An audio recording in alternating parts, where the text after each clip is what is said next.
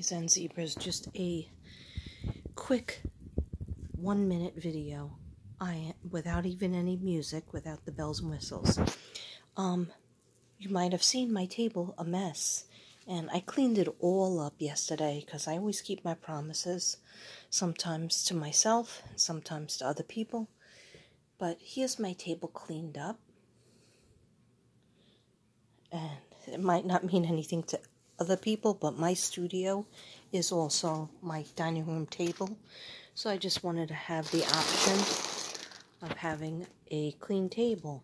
Of course, when I paint, I have to take everything out again, but anyhow, I finished my two paintings that um, one is going to Australia, one is going to, I think, New Zealand. I don't have to check on that.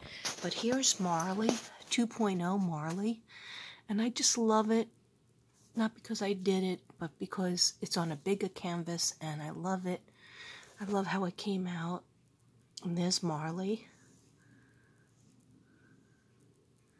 I don't know if you can see the sparkles. And here is Titus. I'm really happy about how Titus came out.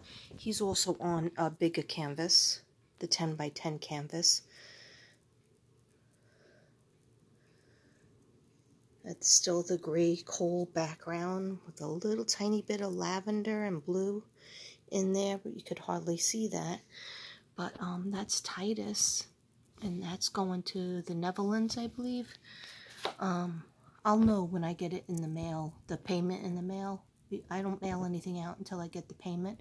Marley was already paid for in PayPal. And um, so I hope she gets it.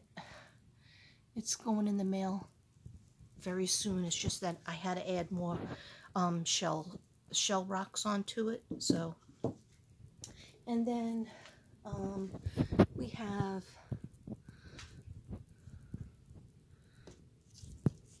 Summer with her lavender lilac wings. We have Don't Worry, Be Happy, and a whole bunch of other stuff. I don't like it without the music. Oh, Glass has been bought by Patty. And um, Moonchild has been bought. Okay, so I'll be sending those out soon. Katrina has, um, I did put the crystals and special magic dust on her as suggested by my beautiful, wonderful subs. So I just wanted to show you how she came out. Okay. And a clean table that I can do my work. Namaste, everybody. Namaste.